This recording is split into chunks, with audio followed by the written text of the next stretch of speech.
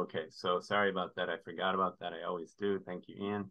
So again, um, just a basic idea is that Jubilee School is a political education project of the Debt Collective. And what we're trying to do is to think together with our members and allies and other folks, indebted folks across the country, sometimes across the world, about the different ways that different types of debt intersect to create all different forms of exploitation, expropriation on a level, on a, on a variety of levels, whether that be in education, whether that be in housing, whether that be in medical, um, medical debt, et cetera. And what we're trying to do is draw connections between the ways that debt works as a mechanism of racial colonial capitalism and what we can do to both eliminate the debt and challenge the structures that produce it. And so a lot of our discussions end up being about not just about debt, but also about structural change overall.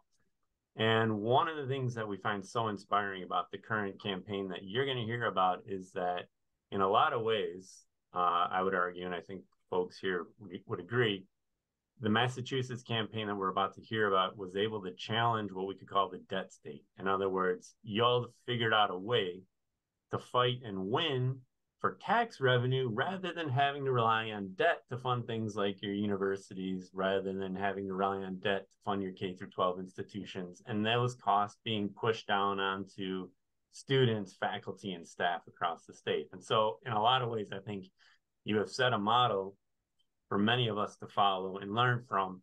And it's an absolute joy to hear from you.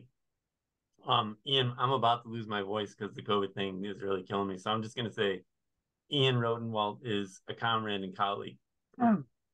that I've learned a ton about through work with Debt Collective. Also, a union organizer in Western Massachusetts. You can say more about yourself because my voice is going. And it's a real pleasure. And thank you for helping organize this. Shanique, Max, Jenn, I really appreciate you hopping on and doing the work that you've been doing. And I can't wait to hear what you're all going to say. We're going to have presentations. Then we're going to come back and I will monitor the Q&A. the last thing I'll say is that when we get to, or if you have questions that come up during the conversation, please write the word stack in the chat, and then I can keep track of who's on the who's on the list. Ian, take it away. Thank you. Thanks, Jason, and get some water. Um, my name is Ian Rhodewalt. I am the uh, field organizer for the Western Mass Area Labor Federation, a coalition of uh, more than 60 uh, public and private sector unions in Western Massachusetts. Um, and prior to starting in this role, I was the Western Mass organizer for the Fair Share Amendment campaign. And that is what we're here to talk about tonight. Um, the Fair Share Amendment was a ballot initiative that we won here in Massachusetts last last November. Um, and it uh, amended the state constitution to put a, a new uh, increase of all annual income above the first million dollars um, by a modest four percent, and that goes uh, is to public education, public infrastructure, and public transportation. Um, so if you make less than a million dollars, none of your annual income is is affected by the new tax. Um, our panel this evening is uh, Max Page. Um, Max is the president of the 115,000 member Massachusetts Teachers Association, a longtime public education activist who believes that the quality of life in our communities depends on having public schools and colleges that meets meet the needs of every student and family. Uh, Max was elected president of the MTA in May 2022 after serving two terms as vice president, he's on leave from UMass Amherst, where he has been a professor of architecture since 2001. Shanique Spalding is the executive director for the Massachusetts Voter Table. Uh, Shanique has dedicated nearly a decade to organizing in BIPOC communities across Massachusetts as a social, political, and reproductive rights and justice organizer. With a BS in criminal justice from Mount Ida College, a native of Kingston, Jamaica, she brings to her work her lived experiences and passion for uplifting uh, and finding justice for marginalized communities like her own.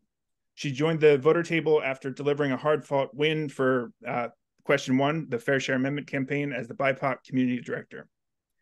And Jenn Kauffman Ortega is an organizations and communications strategist whose work over the past two decades has spanned across the labor movement and progressive advocacy community at organizations um, sorry, at organizations including the AFL-CIO, AFSCME, NEA, uh, uh, PL plus Us, Revolution Messaging, and the Arab American Institute. Jenn is based in Washington, D.C., and is a proud graduate of the Grady College of Journalism at the University of Georgia, has a Master of Science in Labor Studies from the University of Massachusetts Amherst, and is pursuing a Master of Public Health degree in Health Equity from Boston University. Um, and now I'm going to hand it over to Max, um, who, let's, did he disappear here? Oh, th- there you are. Uh, I'm here. You want? Could I share my screen now? Yes. Um, and Great. Max, Hi everyone. I'm going to try to go through a PowerPoint fairly quickly, but I'm really excited. Um, I just really I want to have Shanique's job, which is being a evangelist for the Fair Share Amendment and our victory here. So uh, um, I think it's I'm really glad that you're having this event, and um, I want to just keep keep sell, selling what we I think did did in the state. Let me see if this works. Everyone see that? Yeah. Good. Okay. Fair Share for Massachusetts. This is our campaign. Um, and I'm just going to start very quickly with my building at UMass Amherst, where I teach. Very quickly, this is an old picture of it when it came, built up. A lot of people don't like the architecture, but let me just tell you why I've come to love it. Largest arts complex west of Boston when it was built in the 1970s.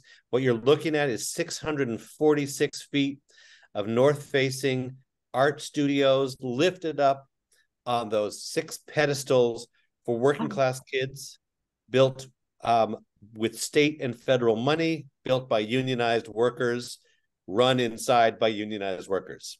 This was when Massachusetts was a far less wealthy state. We can imagine things like this, right? And we did this at a different time. Okay. If Massachusetts were a nation, how rich would it be? This is an important point. The imaginary Republic of Massachusetts would be the fourth richest per capita nation in the world after Norway, Qatar, Switzerland. So the notion of just like throw out the idea of like, do we have money for this or that? We have money. We have more money than um, needed for all real needs that human beings have in this Commonwealth. Let's see if I can move on. Okay. And you can just see here quickly, personal income has like gone on almost exponentially. And I guarantee you the population has not gone up exponentially just to see how rapidly wealth has grown in this Commonwealth. See, there we oops. Help something else happened. I'm not sure what happened here. Uh, I'm gonna have to get out of here. Wait, are we there? Do you still see it? Okay. Yeah, we're still We have it. enormous wealth and it is enormously unequal, as you can see. We're one of the most extreme levels of income I'll call you inequality in each state. Yeah. And just a very quick look, you can you can look and uh, be disgusted at this picture. This is some of the wealthiest, some of the billionaires in Massachusetts. Not only their net worth, but also how much their worth grow grew during COVID, while thousands and thousands of people in the state were dying, dislocated, sick. Um, this is just to get a sense of how intensely concentrated the enormous wealth is in this Commonwealth. Very quickly, also, just to give you a sense again, that's the income I showed you on that earlier chart 600 million billion dollars a year is how much money is flowing. This is how much we spend on our K 12 education system, our vaunted, our best in the country K 12 education system. That's about 3% of the total income in the Commonwealth. Can you see that red line? I'm not sure. You might need a magnifying glass. That's the 0.3%. One third of 1% we spend on all 29 public colleges and universities in Massachusetts compared to the total income that we have. Just giving you a sense of how much we are actually asking of the the the the, the people of Massachusetts, especially the wealthiest. That was the situation. And, and if anyone was wondering about that phrase, Taxachusetts, it's a myth. We are right down the middle of an average tax state if you look at state and local taxes. That's the situation we came in on. This is the ballot from 1915, um, in which you can see uh, there was a creating first women's suffrage. It uh, I know there's an X on the yes, but in fact, it did not pass. The men, the male voters in Massachusetts voted against equal suffrage for women. It, of course, the constitutional amendment at the federal level changed that. But you can also see that we created an income tax, and the income tax was flat. It has to be a single rate. We are a flat tax state until last November. So I think Ian summarized it. We changed our constitution so that we could have at least one other uh, level to charge people. And we basically are taxing people only on their income over a million dollars. So all of you who make just a million dollars on this call, you can breathe a sigh of relief if you live in Massachusetts. It's only income over a million dollars, half of 1% of all households in the Commonwealth. And you can see it raises upwards of $2 billion. And this is an old slide. It was on the November 2022 ballot and we won it. I, we can go into this later, talking more about strategy, but this is a long, this was, it officially began in 2015, but people had been working on this, talking about it way back. I was talking about it with colleagues back in the early 2000s at UMass Amherst. In other words, this has taken a long time. It required gathering of signatures among the population. The Supreme Judicial Court threw it out. We can talk about that later if you want we got it back on the ballot and we won in um, 2022. It went into effect um, January 1, 2023. Um, Raise Up is this incredible coalition that has won universal sick leave and paid family medical leave, um, raised the minimum wage to $15. It's faith, community, labor. Um, I will just zip through this. I know I'm going very fast. We can come back to this in questions why we won, if I had to summarize it, we were persistent despite the ups and downs. This coalition stuck together and stayed with this, demanding that we get a more progressive tax system. This is really important. The public wants to tax the rich. When we started this in 2015, it was kind of equally divided and maybe a little more for what we wanted to invest the money in than in actually taxing the rich. By the time we got to 2022 in the campaign, more popular, the more popular thing was the fair share side, making the very wealthy pay their fair share. Um, although there's lots of skepticism of government legislature, people cared about the core issues we wanted to invest in. Remember, this is taxing the rich to invest in public education, pre K through higher ed, and roads, bridges, and transportation. People care about that. We built a broad coalition, really important. It was really tremendous, uh, difficult at moments, but really was a broad coalition of labor, faith, and community groups.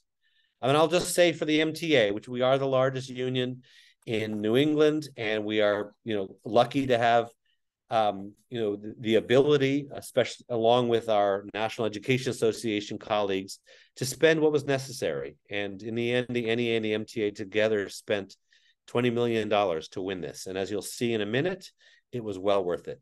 Um, for example, we now have universal school meals for every kid forever. No, like, do you deserve it or not deserve it? Prove your decor. Everyone gets it. Free community college. We're heading towards debt free public higher education. That's the goal. But this is the start. Free community college for those 25 and older. Nursing students. There's $18 million for community college nursing programs. More scholarships for all two year and four year um, um, public colleges and universities, more for public college, public school, and college buildings, repairing them, greening them. Um, I will say this is not a budgetary thing, but in this whole process, we finally won in-state tuition that is paying the in-state rate for everyone wherever you come from. If you live in the Commonwealth, immigrant or not, documented or not, you get to pay the in-state tuition. I think that made became possible because of the new funding. And uh, the Student Opportunity Act is a big bill for funding public schools, and we also um, were able to invest in that. So that I just zipped through that. I do want to sort of end with some threats because I, I do want to what you just saw, all these amazing things. these are all the first billion, one billion in the first year. So that's why I say $20 million is a huge amount of money. It comes from our members' dues, but it is paying off already. Uh, multiple, as you can see, 100, you know, whatever number that is, more, uh, 50 times more. Um, okay, ongoing threats. Today, literally two hours ago, four hours ago, the legislature announced a tax cut deal, and it gives back hundreds of millions of dollars to the very wealthy and big businesses. And I want to say it's a it's a trifecta legislature, all Democratic. We endorse this governor. This is our legislature. And they gave $300 million back to very wealthy and big businesses. We can go on. There's some good things we want in there, but I just want to note that they felt like, oh, we need to do this to help out for competitiveness and prevent the rich from fleeing. So that's a threat.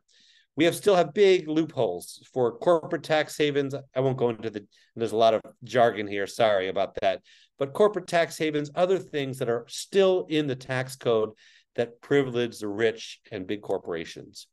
Um, just a note that, as I said, only a billion dollars was spent this year. They are being very cautious. Maybe that's appropriate for one year, but it sounds like for another year, they're going to only spend a billion. So we are going to be really encouraging that they spend a full amount, which we think will be 2 billion or more. And then finally, there's always an ongoing question about whether they take the money and just sort of backfill. In other words, we'll spend less on education and then we'll fill in the money from fair share when the goal was, of course, greater investment in public education and transportation.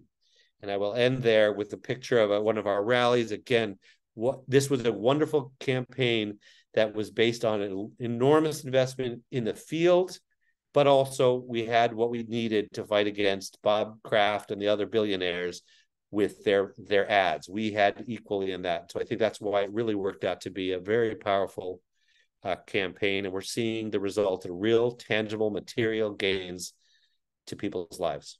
I'll stop there. Thank you. Thanks, Max. I'm going to switch over to um, Shanique now. And all right. Hi, everyone. Shanique Spalding, once again, she, her pronouns. I'm the executive director of the Massachusetts Voter Table. But as Ian mentioned in um, my introduction, is previous to working at the table, um, I spent nearly a year working on the Fair Share campaign as well.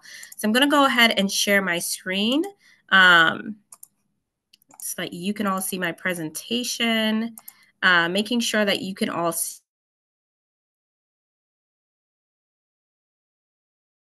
this? Can I get some audible, like, yes, I see this or not? Yes, we do. Yes. Okay, perfect. Just because I can't see faces anymore. So apologies if you're talking to me and I don't see you. All right. So I want to talk about um, the role of grassroots um, and its impact on this campaign.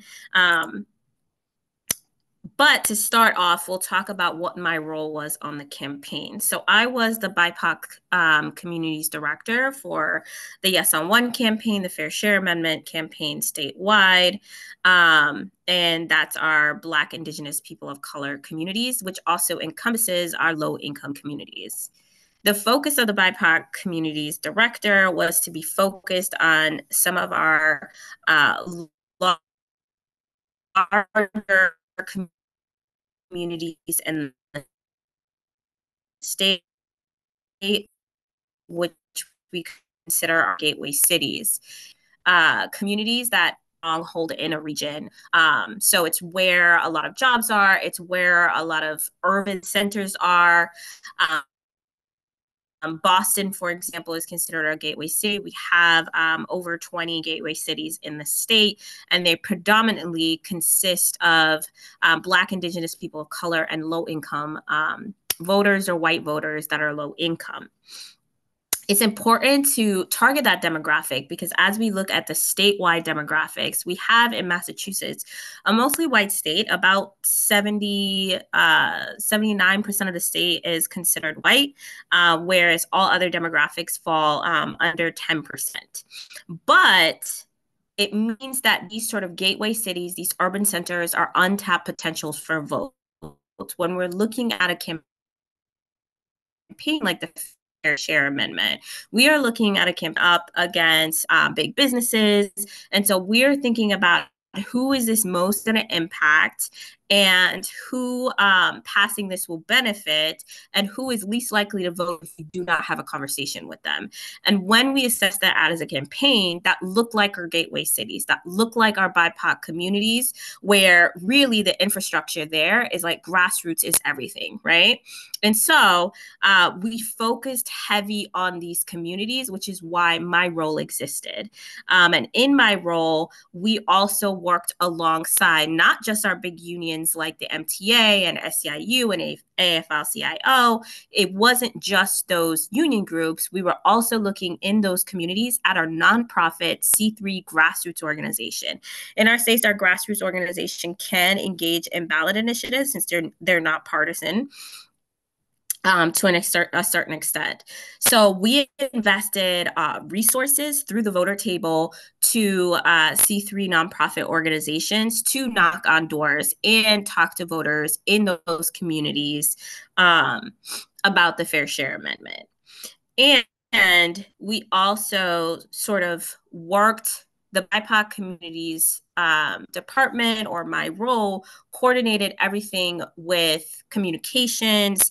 It coordinated through our phone banking programs. We coordinated with um, our marketing and messaging. We coordinated through our business program as well about how do we message to this demographic of voters in every aspect of the work that we're doing. So we weren't just putting messages out that only resonated with some voters, we were putting messages out that um, resonated with most voters.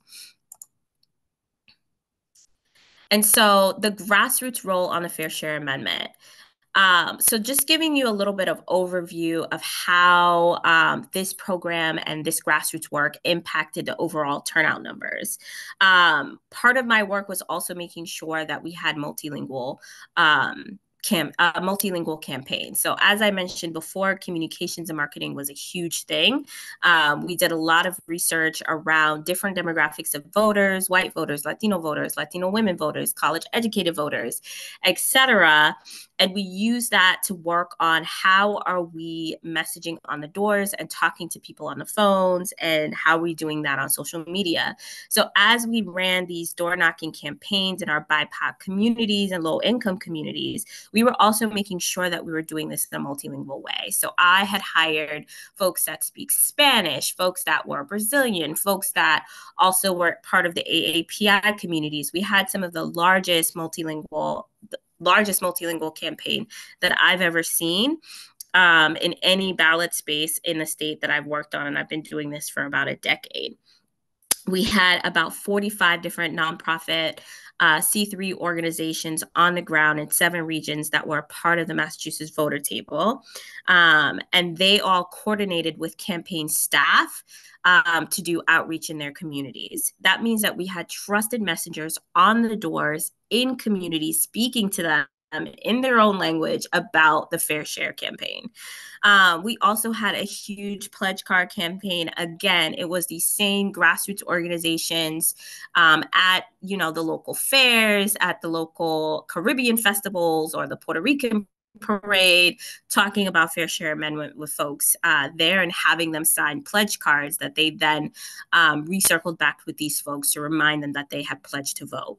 Um, our grassroots partners um, alone did over 100K um, one-on-one conversations with folks on the doors and that um, reciprocated to over 80k votes for fair share um, of those uh, folks that they contacted 57% are women or gender diverse and 56.9% of them were um, bipoc likely voters um, we also had multilingual phone banks. So we saw Spanish and Chinese phone banks were ran um, a lot. So we had folks um, just doing multilingual um, conversations on the phones with um, in our phone program um, and our predictive dialer program. So we were also running that predictive dialer as well, which is a big thing to see that happen. Um, and we also had um, a Spanish town hall. And the reason why we had focused a lot on Latino OAX voters is because we saw in our message testing, in our polling, as well as our early um, focus groups that we saw that Latino voters were our swing voters. So it was really part of my role of how do we message better in Latino communities? How do we make sure that we hire folks from those communities to be talking to grassroots partners who focuses on those communities and their turnout levels that we are messaging right. And we saw better turnouts that way. Some of our strengths um, we saw that nearly um, all of the gateway cities that we covered, um, that we had an increase in voter turnout for our question. Um, and it also sort of doubled the impact for the work that our unions were already doing in those communities. Um, Springfield, Chicopee, Holyoke um, are all places in Western Mass, uh, but we had Boston, we had Brockton, we had Worcester, um, Lawrence, uh, covering pretty much all of the gateway cities in our state. Um, again, as I mentioned before, we had multilingual communication.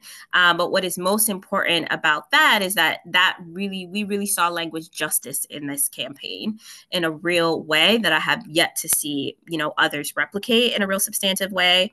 Um, and because we invested in this type of work, it meant that we were meeting communities where they were at, right? We weren't just this entity like messaging on like these platforms that people um, were only seeing if they were in the know or they were politicos, right? We were messaging in places like the local block party or the back to school events where people are getting free backpacks in these communities or the Juneteenth events.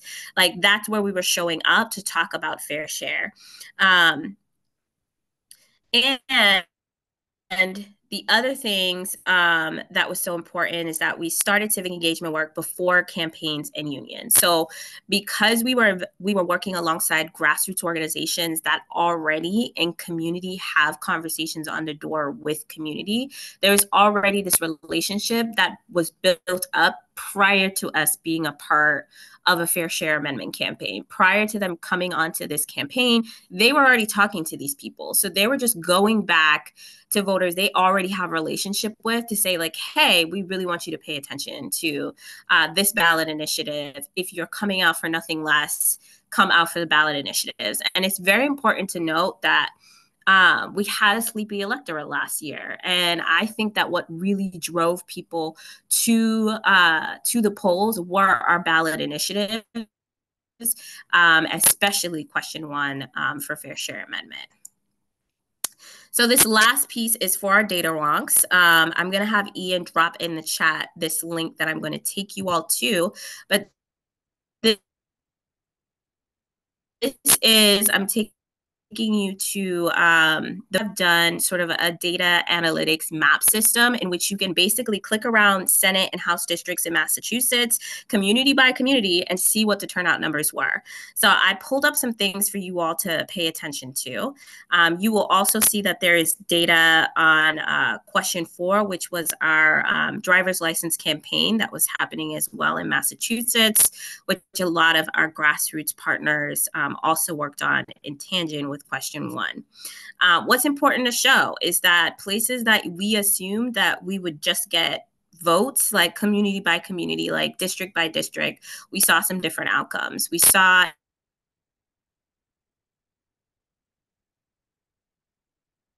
in third suburbs, also low income white and some upper 54% turnout for question one, but then we saw that they came out for question four, undocumented voters much higher, which is an interesting thing to see. But if you look at um, House districts here, um, you saw that in 11th, Hampden, which is all the way in Western Mass, in Springfield, uh, where basketball was invented, is you saw that 64% um, voted for question one and 60% um, voted for question four. Now I'm bringing you, bringing attention to basically the demographics of these voters. I'm bringing your attention to the margin of these votes to really show you that grassroots work mattered, right? We are looking at 4% difference. We're looking at percentage difference that gave us a win. Um, overall, the campaign won around 60% of the votes. against the opposition, that's literally just over uh, the 50% line, right? And so what we saw was those conversation and that investment in the grassroots work was integral to getting small percentages in communities of, of a win to give us a overall statewide win. So for those of you who want to dig into the data, again, please um, look at it on your own time, click around, um, blow this up. Um, if you don't know much about Massachusetts, you can also just Google the districts and get like a demographic profile on that. Uh, the voter table is actually going to add some more profile dashboards on our website. So please keep continuing to look at our website, um, particularly if you dig into some more of the numbers for our for our, our data wonks. Thanks, um, that's a quick and dirty presentation. I'm here to take all the questions. Thanks, Shanique. I'm going to switch over to Jenn now, who's going to give a a uh, uh, overview of how this plays out in the context of other uh, nationwide um, uh, tax justice uh, movement efforts. Here, um, and hi everyone. Uh, really great being here. Um, I'll share a very brief presentation because I want to hear your questions. Um, uh, but I'm with the State Revenue Alliance. We focus on building uh, intersectional tax justice campaigns that empower communities uh, to fund our futures. And when we talk about funding our futures, what we mean is um, generating revenue. And revenue is another way for talking about bringing money into the state generally through um, taxes. So um, we are really excited about what happened in Massachusetts, um, invested in like learning some of the insights from folks like Shanique and Max and then helping to turn those into strategies that can be shared with other organizations and communities um, and coalitions that are growing um, across the country. So, just to recap, taxes are complicated by design, right? They're scary. It's very hard to figure out. You need, you know, a PhD in some type of mathematics in order to really understand the nuances of like how things work. If it wasn't for like an electronic program that allows me to like you know kind of put in my my information and, and get an answer i have no idea how it happens. Um, and that's by design. Um, and there it's really helpful to take a look at who are the entities that are fighting to make it so difficult um, and what they get out of doing that. Um, grover norquist um, and other conservatives are afraid um, that it would be easy. Um, it'll be easier for like the the feds to uh, raise revenue if like taxes were easier to accomplish. So they know that by keeping taxes complicated, um, it is very difficult for people to kind of see behind the curtain and understand what's happening. And what's happening is that um, ah, what's happening um, is that um, you know we have a shrinking middle class um, we have growing economic disparities. And uh, you know the folks who are benefiting because of the complicated tax system that gives them all the write-offs um, are the ultra wealthy and corporations. And all of you know this because you're very well versed in this. Um, but I wanted to ask you a question. How much do you think was spent yearly on federal lobbying and donations by the top uh, corporations that paid zero dollars in corporate income tax? So talking about the top 50 corporations paying zero dollars in corporate income tax. You can put it in the chat if you want.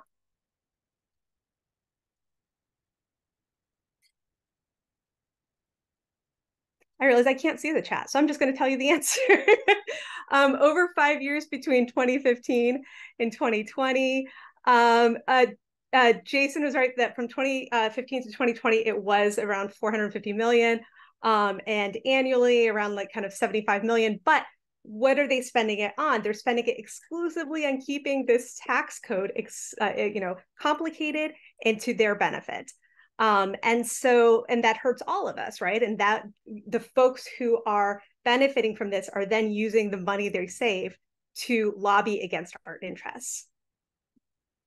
Um, and you know what we really believe is that when corporations and the wealthy pay what they owe, as we can see what's happening in, in Massachusetts, communities have what they need to thrive.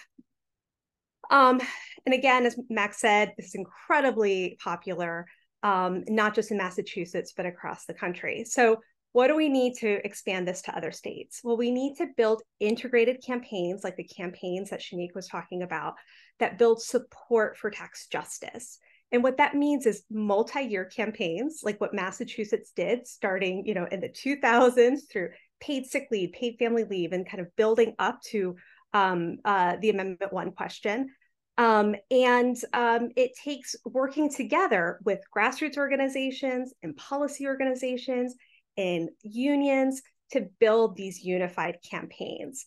Um, I think folks may have seen some of the wonderful photos coming out of the Midwest, particularly um, in Minnesota, where the governor is signing legislation to have, you know, universal um, uh, free lunches for students. And those wins weren't just of like what happened on election day, you know, the November prior. They were the result of investments in community organizing that started like five years prior. Um, and so um, that's not necessarily to kind of, uh, you know, drive your hopes down. I mean, it, if anything, it's meant to like say that we all can do it because what it means is starting small, starting on the grassroots and building up is how you build strong campaigns to win.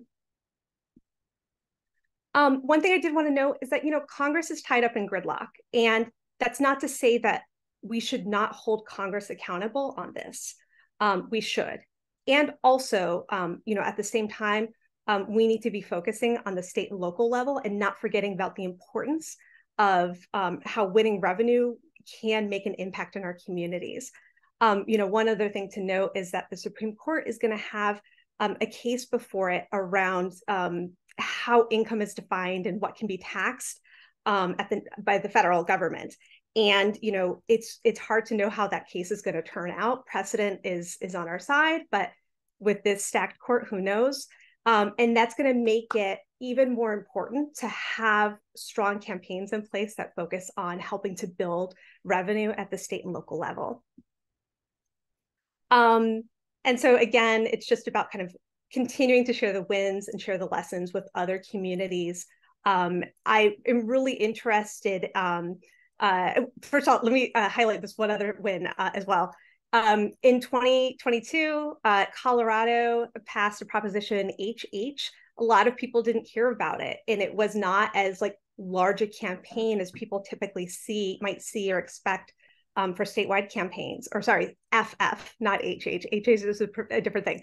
Uh, proposition FF and um, it also ensured that there's universal free meals for students um, and is an example of some of the community building um, and focus that can start and then build upon it for subsequent campaigns uh, to continue this work. Um, in states highlighted here in a neon chartreuse type of color, um, these are some of the states that saw legislation introduced in the legislature um, around revenue and taxes. Um, so some of these were wealth taxes, some of these were capital gains taxes. Um, but this was the result of advocates and legislators working together um, to introduce these bills. Um, in most of these states, these bills have not had a committee hearing. So that means that there's still work to be done in terms of working intersectionally and collaboratively with other organizations to kind of help lift because of the importance and the interplay of, of, of revenue and taxes with so many of the other issues we care about to make sure that we're paying attention and helping to mobilize and build support for bills that are moving in our state.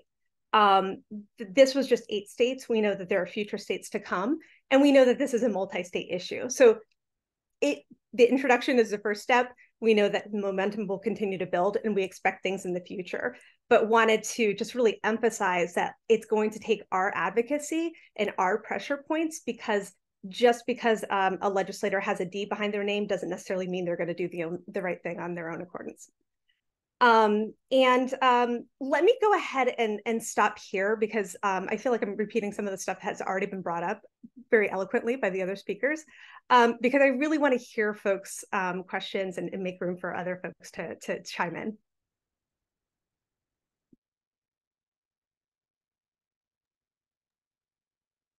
Thanks so much, Jenn. Um, I, am going to start with a, couple of prepared questions I have. Um, but if uh, uh, audience members want to put uh, the word stack in the chat, if as questions that you have arise, um, and I, I want to start with um, how did the Fair Share Amendment campaign fight back, and how how do we continue to fight back, uh, both against the billionaire funded opposition, um, as well as and and you've touched on this a bit, um, as well as cynicism about change coming through uh, ballot initiative campaigns.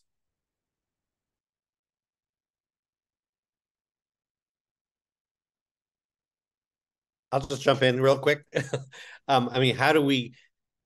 I, a part of it is making sure we uh, celebrate the wins that we have, and this is already an issue. Someone said to me that they were, you know, they got praised. The legislator got praised for the universal school meals, but had no idea the fair share money had anything to do with it. So this is an ongoing effort to, when we have victories, let's make sure we don't just celebrate them once with one press release, but actually figure out how to continually um, lift them up. Um, and I, I, guess I'll say that my hope was um, for this that, and I still will hold out hope that it will come true. That opening this up, when you say, "Hey, look, we did this thing that took 107 years to do," that is introduce progressive taxes in Massachusetts. What else can we do? we just we got new money for education and transportation. By the way, I didn't even talk about all the victories on the transportation side, so I because I was focusing on our education. If we can do that, what else can we do? What else can we afford? What else do people deserve? So that's that's my hope for the movement. And when we have these victories, it should go, oh, I guess we could do this. So anyway, that, that's my quick answer to that, Ian. Shanique or, or Jenn, would you add anything? All right. Um, uh, and, and, then sort of building off of that, um, what can we sort of continue to do to to um, now that we've won the fair share amendment uh, to to uh, pressure, as you mentioned, Max, the the uh, Democratic trifecta in uh, that um, is in the governor's seat and and the um, uh, House and, and Senate to actually follow through and, and not do these estate tax cuts and capital gains um, cuts? So I'll I'll plug in here as uh, Max did a presentation of some of the threats we still have on this legislation. It just goes to show that none of this is one and done. Um, so even if you attempt a campaign like this, there will always be a way that you know, as long as we don't have the type of representation that we want, whether you live in a progressive state or not. Massachusetts may be blue, but it is looking purple in more places than none.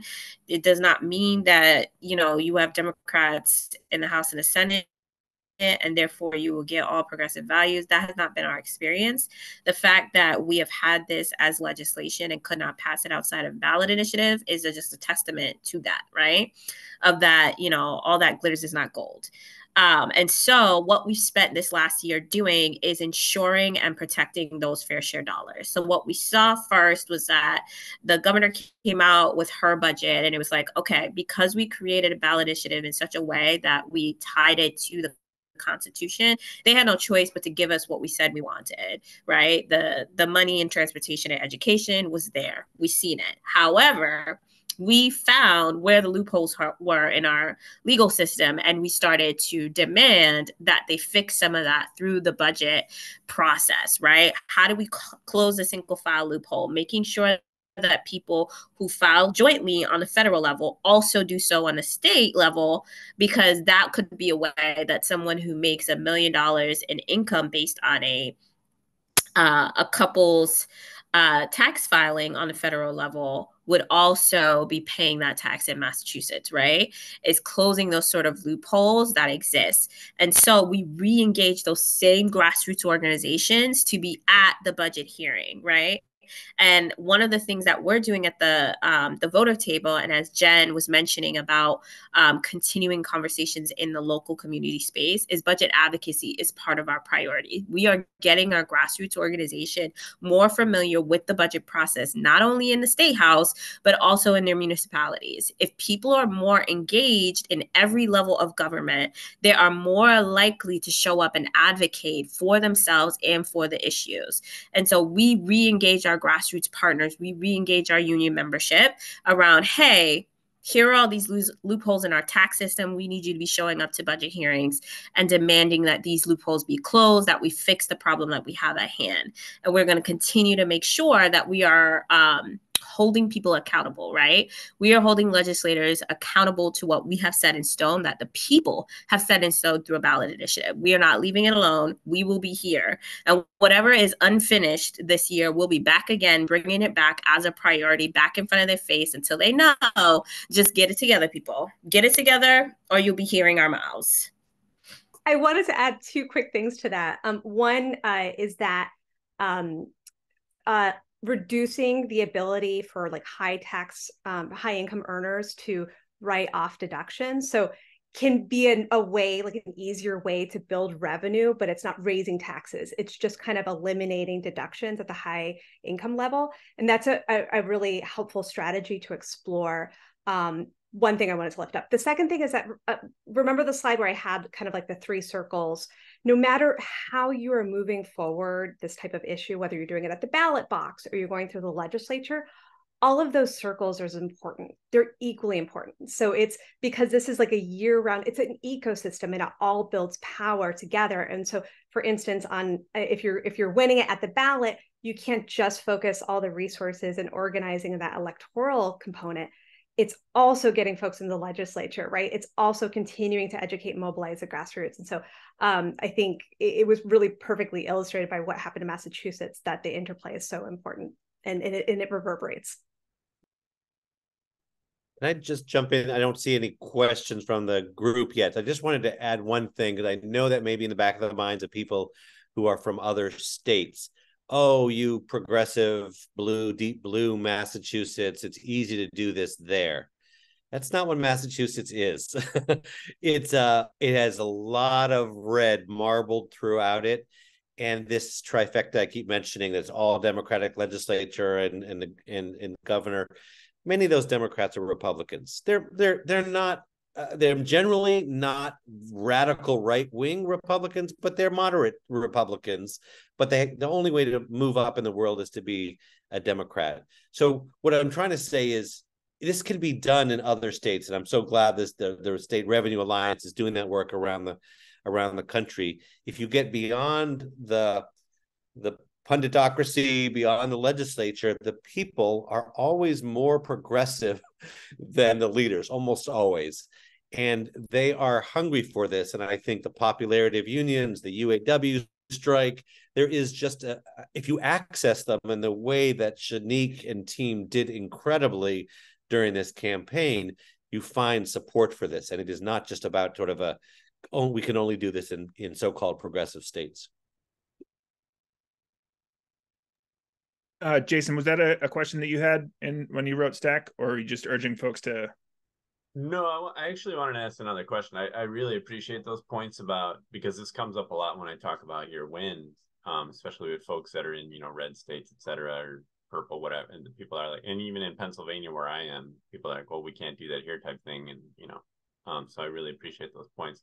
I wanted to ask a question, um, really related to the work of the Debt Collective and how our work might intersect because um, I'm curious if when you were, you know, promoting and educating people about this campaign, if you talked about the ways that this is going to decrease the possibilities of people going into debt, mainly students, um, and how we need more tax revenue to avoid the debt trap, and whether or not you were able to use those two things together to to to win more people over to the fight um, because I think it's one thing that we in Debt Collective could learn from, which is to say like we focus on debt cancellation, but we're not necessarily focusing like as much as maybe we need to on the other side of that like well, where does the funding come from in order to have some of the goods that we need that you all want right and so i'm just curious if you all brought up debt in some of the public uh, facing work that you did and how that played out um,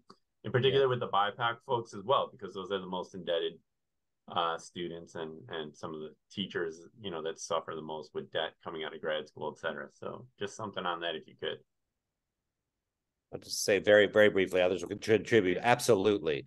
You know, and it's actually written in, you know, you know, some of this comes from polling and, you know, back way back when when we started this, the 2015, 16 or so, um, that was very clear that the the issue of student debt and making public colleges and universities affordable was right at the top. In fact, when we pushed on the education issues, what is the most important issue at that time? It was the student debt issue and making public colleges affordable. So that's and that's what's written into the Constitution.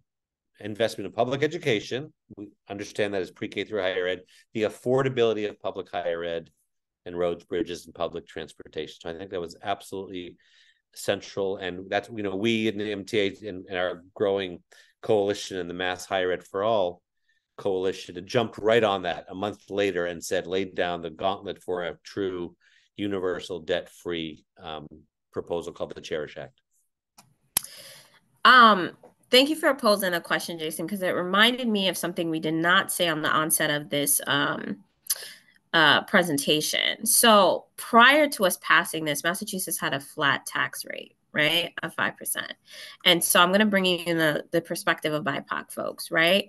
And the perspective of most folks, this is not even a BIPOC thing, is when you hear that you have a flat tax system, everyone gets you know, pay 5% uh, on their income to taxes, that sounds fair, right? Um, one, I was messaging to folks, especially our grassroots organizers, which are some of them are just like volunteers in these organizations. They're like, how do I explain why gradual tax is better than a 5% flat tax, right? And I said, here's the thing to think about a person who makes a million dollar or more takes home maybe 20K a week. 5% on 20K a week versus your maybe take home of $1,000 a week. What they have left versus what you have left to spend on your livelihood, food. We're not even going to get into childcare that you're paying for. You are in debt you don't make enough after that. After you pay your 5% flat tax, you don't have as much left as a person who makes 20K a week. And so that's the difference. It's about the take home, not about the percentage. It's about what you take home. The percentage of what you take home is drastically different because what you take home is what you live on. And that's where you get into this conversation of building these campaigns around a livable wage because also you're getting taxed on what you make. So if we're not even at a livable wage, right? And you've got a millionaire who's making their income in different routes that isn't, you know, minimum wage. Again, we see a drastic difference about what take homes is. So when we're thinking about that debt conversation, it's about what you're taking home. People are in debt because they're taking out loans for things that they need, a car, I need a car in where I live in my state to get to work. We don't have transportation. you need a car, and I can't afford a car on what I get paid. So I take out a loan that I can't pay because I don't have money. That's the difference. This puts you in a cycle of debt. And so it's important that people are paying their fair share and that we're thinking about how we are investing back into community for those who can pay a little bit more. And that little bit more is still not as high as maybe the gradual tax in New York. It's still not as high, right? We are bringing people up to 9% and people are crying. Their whole California is what, 13, 14%? So much higher than what we did. I just want to say thank you so much for that. And we need to get that. We, we need to talk to you more about that messaging because that's exactly mm-hmm. spot on, like 100%. So thank you for that. There, um, there was a brief question in the chat about something happening in, in New York, and Jenn, you mentioned um, Invest in New York. Do you want to say a bit more about that? Um, Invest in New York is um, a coalition of grassroots organizations and policy groups and others that um, are they have actually a robust agenda and campaign and really would recommend that folks who are in New York go check them out. Um, the other thing that I want to mention is that there are around 25 states across the country that either have um, active campaigns or they're building campaigns that are going to launch in the future. Um, and so there may be places for you to connect with. And um, if you're interested, go ahead and check out our website and uh, join our mailing list. Um, we have maybe about five more minutes. Uh, we, we started a bit uh, like five minutes after the hour. Does anyone uh, else have any questions? Um, feel free to write stack in the chat or uh, raise a, a hand. Um, I have one or two more prepared questions. If not,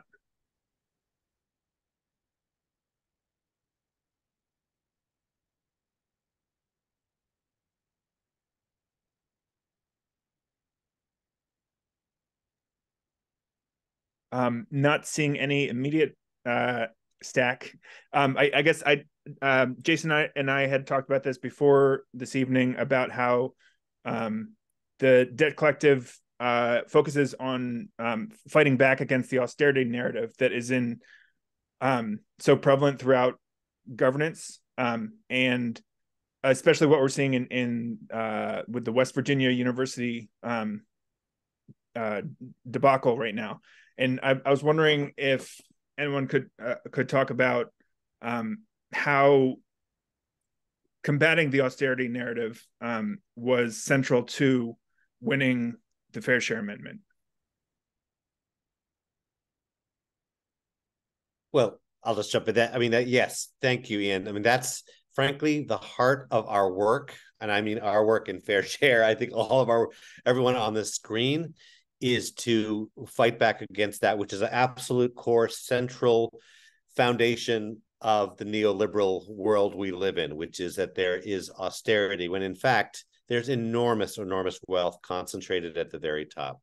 So that is why I was saying the optimism or the hope that I had was that by undoing it a little bit, just $2 billion a year from people who will barely notice it, that we start to open it up and go like, well, if they barely notice it, why don't we do another 2 billion for housing or 4 billion? Um, so I do think that that's that that is the the goal. The goal is both showing the inequality and lifting up um, the demands, the needs that that that that people have. And and we're beginning to see, or will see in the very near future, that um, some of the states that have had um, uh, lots of extra in the budget to uh, invest in all kinds of things are going to see that they're having revenue downturns. And the reason why is because the COVID um, era funding and some of that federal stimulus is is about to end and it's about to expire. And so that means that um, because in the most recent legislature, um, there was a lot of giveaways to corporations. And so na- then what's going to happen is that they're looking at a negative balance and they're going to come to us and be like, oh, sorry, we don't have money to spend on schools and the thing you want, et cetera, et cetera, when that's not true. And I think it's like, it's doing exactly what Max was saying and also like really highlighting um, the giveaways and the corporations that are benefiting um, because they are spending, they're just choosing to spend um, on the ultra wealthy and on corporations and not choosing to spend on communities. And so that's really important to, to highlight as well.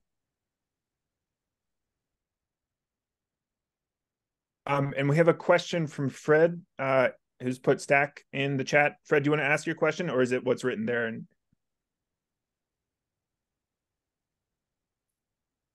uh, the question is, what should we do if we cannot pay student loans?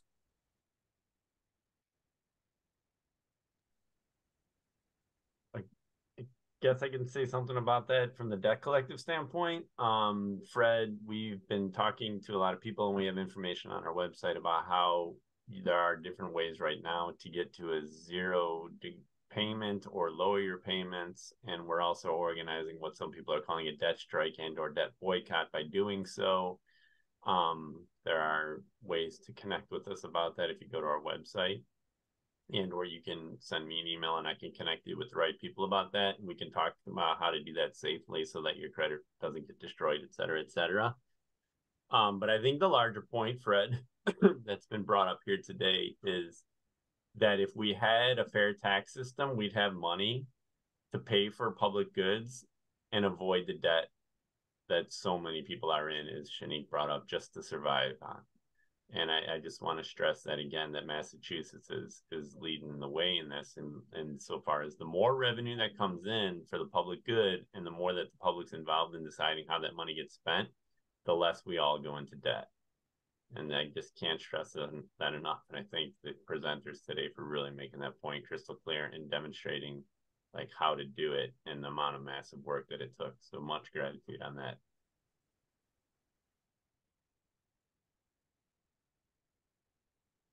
Thanks, Jason.